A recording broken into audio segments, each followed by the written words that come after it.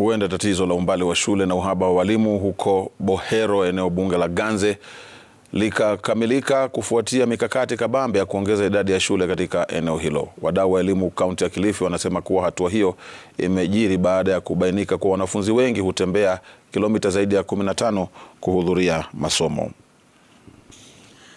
Ni katika eneo la Bahero hapa katika eneo bunge la Ganze ambapo wadau wa elimu katika eneo hili wameanzisha mikakati ya kuhakikisha kwamba wanapunguza umbali wa shule katika eneo hili. Mara nyingi wasichana wetu wale wanaojiunga na shule zile ambazo si za mabweni wanasafiri kutoka mbali.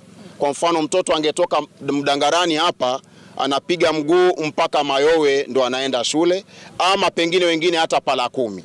Kwa hivyo hii shule itakapokamilika itasaidia sana wasichana wetu. Kuna shule nyingine ambayo pia tunaendelea kuzifungua na kuzianzisha ambazo ni za mseto ambazo zinajaribu kuondoa ile dhana ya kwamba shule zinakuwa mbali zaidi, kwa sababu tunasema kwamba watoto wote ni lazima waende shule, na hata katika mipango yetu ya Azimio tunasema kwamba hawatakuwa wakitozwa eh, kiwango chote cha pesa, itakuwa bure. Kama ni bure, ni kumaanisha kwamba kila mtoto ni lazima aende shule.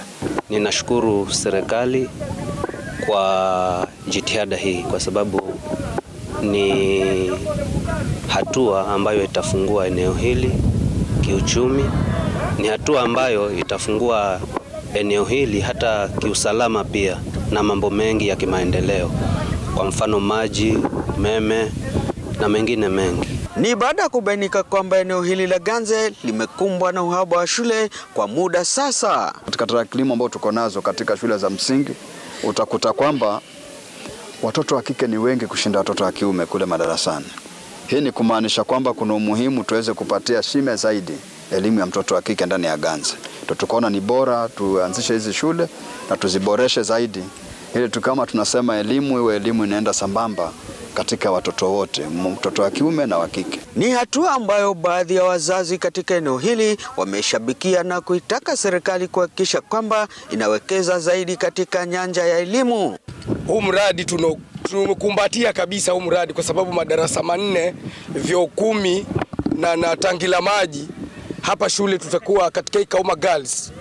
Katika hii Kauma Girls itakuwa vizuri zaidi wasichana wote watakuja kutoka bara, kutoka wapi, hiyo yote itakuwa ni maendeleo, inazidi kushuka kwa hii sublocation ya Mdangarani.